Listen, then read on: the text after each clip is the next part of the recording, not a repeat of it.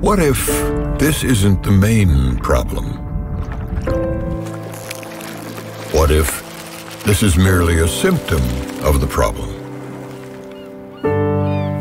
What if the main problem isn't people littering?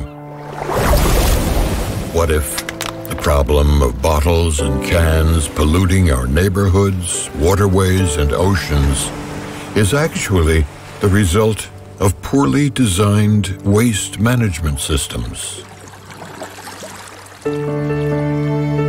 Communities using well-designed deposit return systems engage people to collect more than 90% of cans and bottles before they become pollution in the first place.